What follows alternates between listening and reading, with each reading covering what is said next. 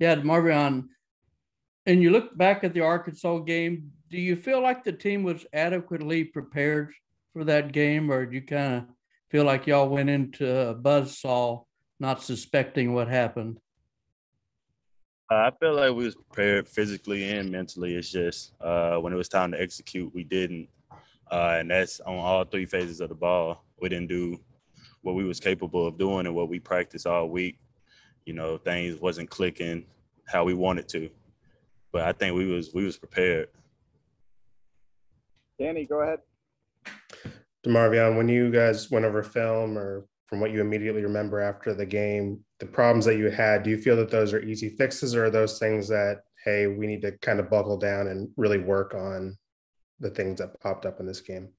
Uh, it's definitely easy fixes. Uh, Moro said it the other day, communication wise, and uh, you know, we just glad it happened then. Uh, the stuff that we need to work on with exposed Saturday, so you know, we glad we got that out the way. Uh, we able to work on that and this week and on into the conference play. Brian, you're up. Marvion, talking about communication, um, how did how do you judge that? I mean, how do you judge if everyone is talking enough, or everyone knows what's going on, or look out for this, or watch that? You know, how, how do you judge that?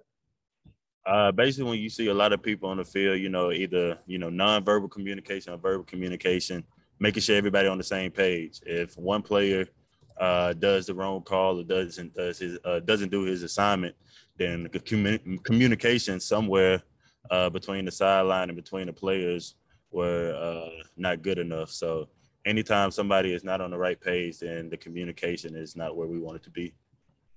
Cedric, go ahead. Hey, DeMarviana. Coach Sarkisian talked about the sheer size of SEC teams, you know, through his experience. Where did Arkansas rank up front size wise against teams that you faced in your career? Uh, I definitely they were definitely one of the biggest. Uh, but I've seen a lot of big O lines uh, prior to that game. So, uh, but you know that's how SEC recruit. They like their guys big up front. It's a different game than the Big Twelve. So you know they like more bigger bodies. Uh, you know, to be able to move more bigger bodies on the other side of the ball. So, you know, it was definitely big, but I, have seen some that was bigger. Uh, Blue, you're up.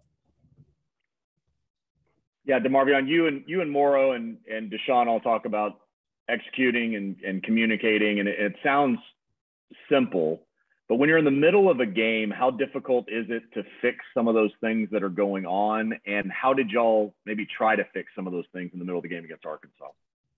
Uh, it's very difficult, especially when you don't do it as well at practice. So uh, basically, just working on it during practice is the only way to fix that.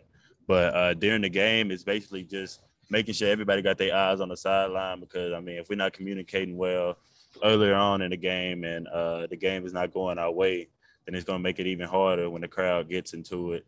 So basically, making sure everybody is aligned and assigned and uh, know what they're supposed to be doing is the biggest thing. But really, communicating at practice is the only way to fix that. Time for a few last ones. Chip, go ahead. Marvin, um, when you look up at the end of the game and see that Arkansas's run for 333 yards, what you know, what's your reaction? Uh, that we didn't do our job as the front seven. Uh, you know, regardless of what the score says at the end of the game, if they rush that many yards, then we didn't do our job. So, uh, you know, that's one thing that we're getting fixed right now at practice and in the film room. Uh, because, like I said, it, it, all starts up front, and that's on the offensive side and defensive side of the ball. Dennis, go ahead.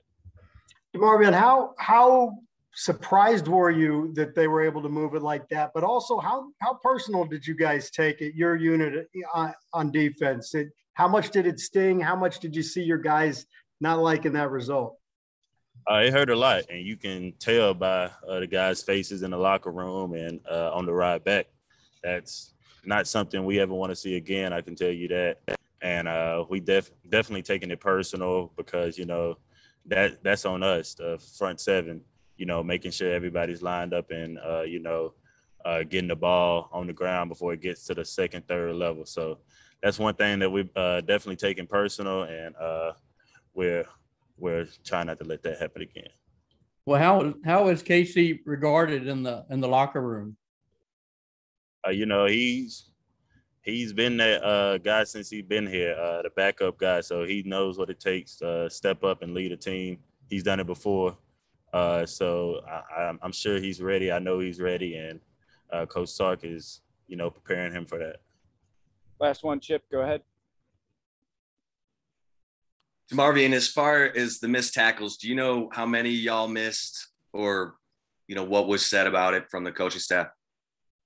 Uh, I don't know the exact number. I know it's too many. Uh, one is too many. So, but I don't know the exact number. That's really one thing we're emphasizing this week is tackling better, uh, because there's a lot of plays where uh, it could have been dead if we would have just tackled the ball carrier. But that's one thing that we're really emphasizing this week. Yeah, Casey, um, getting to start again is something you've been waiting a, a while for. Um, I guess almost four years now. What's kind of your mindset going into this uh, game and going forward? Oh, yeah, I just I just realized today that last time I started the game was November 2017, which is crazy. Um, but I'm excited. Um, I waited a long time for this opportunity, and uh, I don't know. I just think it's a testament to perseverance and hard work, and uh, I'm excited for this team, the opportunity that we have to uh, bounce back and to continue to, to, continue to push forward and press on towards the goals that we still have uh, at hand. Dennis, go ahead. Casey, you just said it. Uh, perseverance. Did did the thought ever occur to you? Because you wouldn't have been blamed for waiting your turn to like, I didn't get the job, I'm jumping. Did it ever occur to you to to transfer out and and and just talk about why is it, it was important for you to stick? Uh, I mean, for me at this point, uh, like I, I told you guys before, I'm very uh, I'm very thorough in my thought process and my approach to things. But I mean, at this point, uh, I mean I'm already in this thing and, and I've waited my opportunity and I've waited so long. It's like, uh, there's no way that I could just uh, quit and, and, and let up at this point. So uh, my thought process was, um, yeah, it hurt for a second and I'm gonna let it sting. Um, but I'm gonna wake up the next day. Uh, literally, I just, I took a day to kind of, you know, think about it, soak it all in. And then as soon as the Monday comes around, uh, I just woke up and I went back to work and I said, uh, no matter what happens, I'm gonna be ready to play and I'm gonna take this thing over when I'm, when the opportunity presents itself. And so that was my thought process um, and, and, and kind of my uh, mindset going through it. It was just trust the process, like I said, and just continue to persevere uh, work hard. And um, my mindset was, you know, if I'm not going to get named uh, week one and, and it's not going to be given to me, then I have to go take it myself. Um, and I have to show my teammates that I'm just going to continue to work hard um, and, and, be the best I can be every day. So that's the attitude I'm having with it. Anwar, you're up. Casey, does um, anything change from you from a preparation standpoint coming because you've been coming off the bench pretty much your entire time here at Texas. Now, as a starter, does anything change from you from a prep standpoint this week? No, nothing has changed. Um, I think I've told you guys before, like even last year and the years that I was uh, a backup uh, behind Sam, and even the last few weeks, uh, nothing changes as far as my preparation. I still I still watch uh, full game clips on Sunday and Monday, uh, Tuesday, Wednesday, Thursday. I watch third down and red zone, and then uh, towards the end of the week on Friday, you know, getting on the bus and going to the hotel, I still uh, just watch uh, cut ups and stuff and go through my playbook and the game call, the game sheet, my tips and reminders, and uh, I'm gonna keep the same approach and the same exact habits that have got me to where I am today. I think that it's worked so far. Um, if anything, I think it's time to turn up the notch just a little bit. You know, maybe a little bit more film study, a little bit more treatment, a little bit more time watching film on my receivers um, and stuff like that. So I wouldn't change my approach, and like I said, I wouldn't do anything different. Bob, go ahead.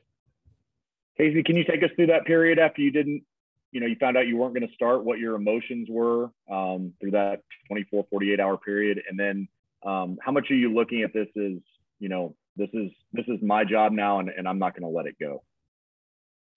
Well, like I said, I literally, I literally just try to focus on one day at a time. And so, you know, the day that I found out that I was not going to be the name the starter, obviously, um, I took that with the, the, grain of salt. And, you know, I said, like I said, I'm going to let this hurt and I'm going to let this motivate me.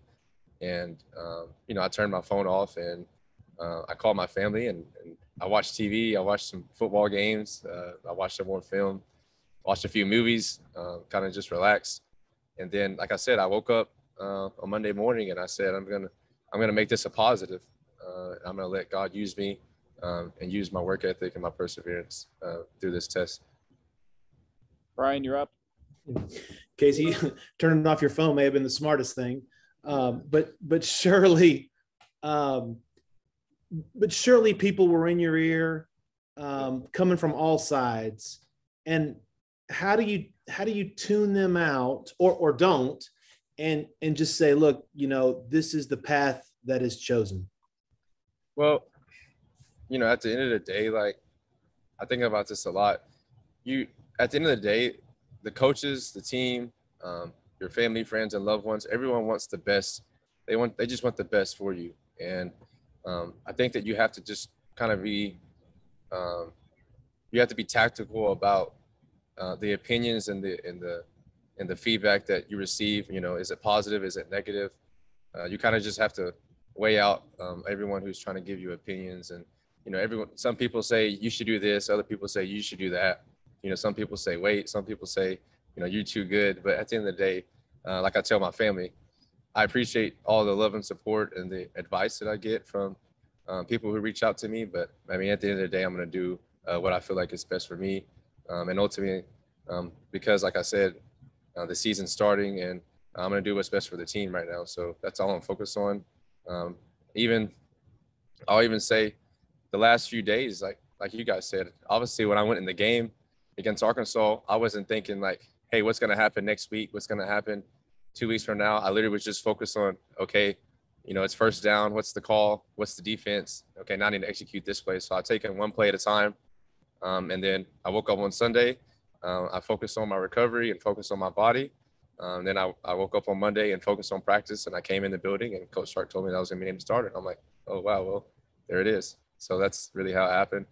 Um, like I said, I can't really worry about the future. I'm just focused on today, and that's the approach that I really try to take uh, take with this whole process.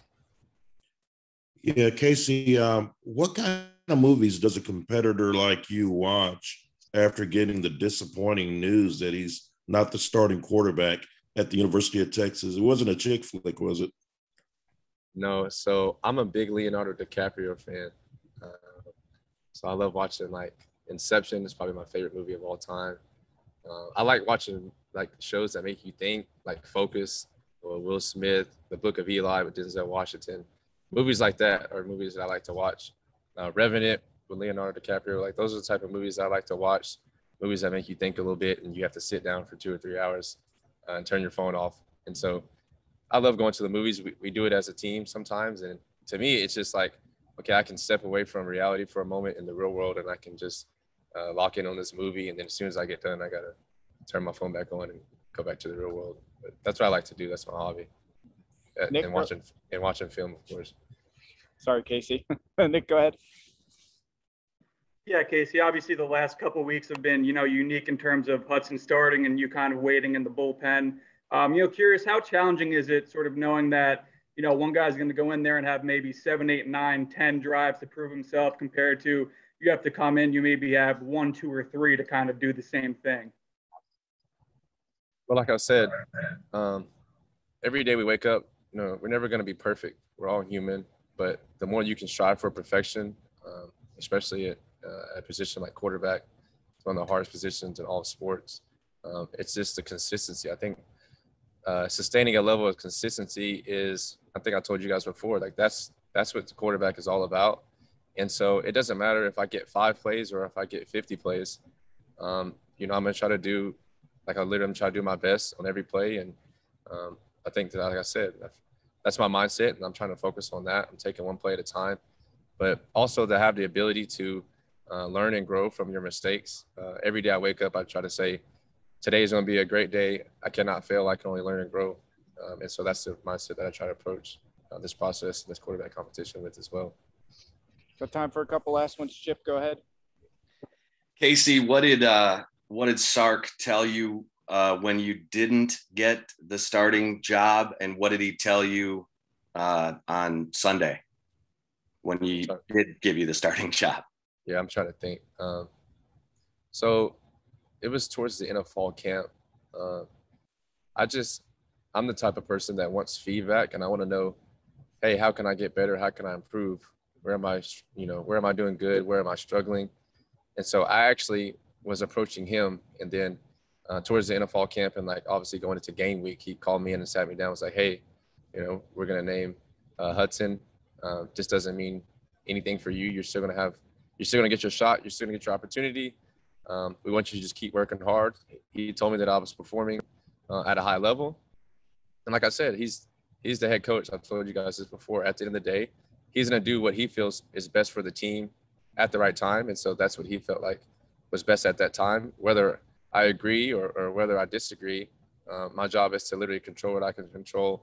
Um, and so obviously, as a coach, you know, he he understood that uh, he's had great quarterbacks and he's had um, good quarterbacks also um, as backups. And so he said, you know, we're gonna we're gonna try to be for you, uh, be there for you during this time. If you need anything, let me know.